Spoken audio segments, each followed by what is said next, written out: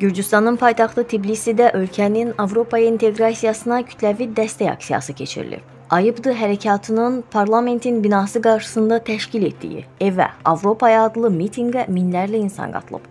Qanunverici orqanın qarşısındakı Rustaveli prospekti avtomobillərin hərəkəti üçün bağlanıb.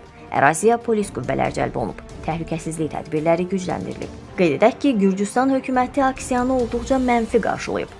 Baş nazir İrakli Qarabaşvili mitinqi destruktiv qüvvələrin təşkil etdiyini bildirib. Hökumət vətəndaşları təxribatlara uymamağa çağıraraq ölkədə qeyri-sabitliyin yaradılmasına yol verilməyəcəyini bəyan edib.